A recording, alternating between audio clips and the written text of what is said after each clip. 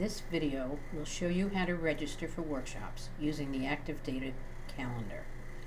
Type in the address bar calendar.ct.edu.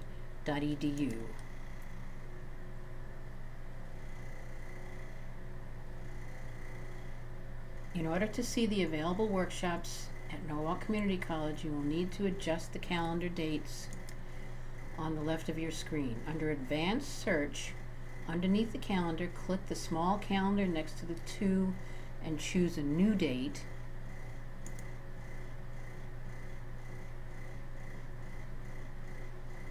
This one is going to August 15. And then go down to Location, and then you can choose Norwalk Community College. And click Submit and now you will see all the workshops that are being offered within the time frame that you chose. Click on the workshop you would like to register for.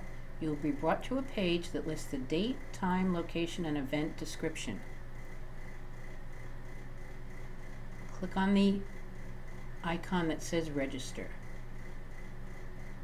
You will be brought to a page where you can enter your name and email address. Once you have done that, click the Next button. Note, you will need to use the email address at ncc.comnet.edu because it does not recognize the at norwalk.edu address. Click Next, and you'll be brought to another screen that asks you to choose your institution and your position, staff, full-time or part-time faculty. Enter those and then click Next. This screen tells you what you are registered for and summarizes the information you have included.